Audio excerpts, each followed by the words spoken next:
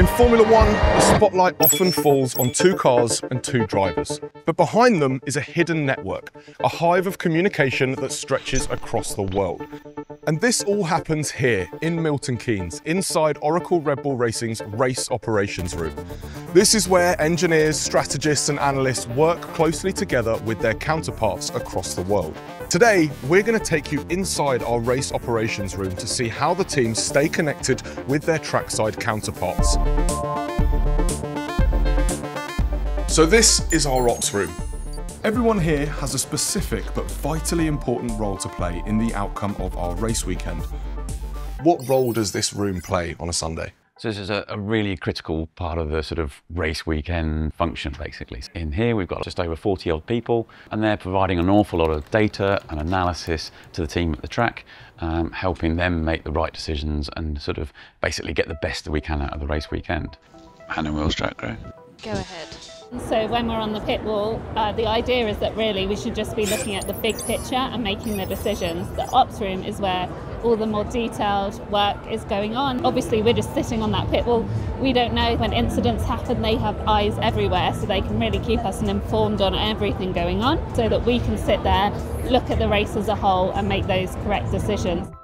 Emily from Hannah Track If we've got any footage of the track or how it's drying, that would be helpful. Making sure that what you're getting across to them is precise but also as short as possible is important. They did just interview Toto on Sky and he thinks it's going to be slicks. Okay, that is helpful, thank you. I feel like in this environment everything is pretty instant. It's either good or bad. You don't have time to really think back and go, oh, I could have done this, I could have done that. So we have instant communication to the track with this intercom panel. That's got a live link, everyone's wearing headsets at the track. We have multiple channels, so depending on the relevant audience, we'll jump on the correct channel communication is instant from here as if they were sat next to me. Hannah, Nish on Strike Go ahead, Nish. I think Leclerc will clear the safety car window of Tsunoda this lap. Running some simulations to figure out if it's a one or a two stop, looking at the pit loss, trying to figure out where the car's strong, where the car's weak. So we look after the car um, health and reliability of multiple systems like the braking system, the engine, the gearbox, and the cooling config of the car. During the Friday, Saturday, and we look at the temperature evolution throughout the weekend and we try to fit the bodywork that will give us the best cooling for the Sunday based on the pre-event sweeps that have been provided to us. So we have live onboards of all the cars, uh, live radio of all 20 drivers. So we have lots of people listening to each of those streams and then relaying on relevant comments. Norris saying he's a lot quicker. Russell's engineer is saying that his rear tyres are just about starting to overheat. We have a huge amount of data available to us. It's trying to analyze that data and work out actually what are the key things that the data can tell us, and then using that data with our models to then predict how things are going to perform in the future. For so many years, I was on the other end of this data stream in the garage, focusing on what I had to do when the pit stop call came.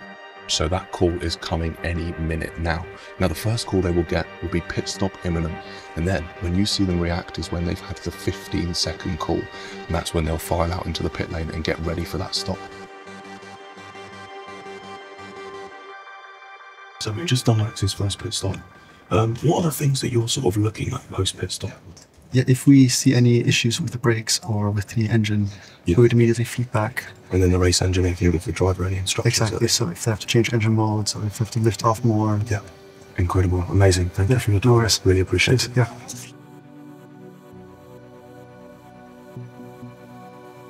In a, in a funny way, winning a race, don't get me wrong, it's always fantastic. Yeah but it's much sweeter when you feel like it's you've made the difference. Yeah. So maybe a race that you shouldn't have won, and maybe you take a bit of a risk on a strategy and, and it pays off. Yeah. And you think, yes, I, I really made a difference. I contributed to that. I and that. I think that that is always the sweetest moment. It's a different environment every single race. I think that excitement and diversity in what I'm doing. The fact that you can be sat thousands of miles away from the track itself, but seeing that you have had an effect on the session, the outcome, that feeling, that's, that's definitely what keeps me coming back, loving it. The ops room might just look like a load of screens, but inside, it's a team working with absolute precision, every lap, every second, to guide the car home. And that's what it takes, a global team connected by communication and driving performance wherever Formula One takes us.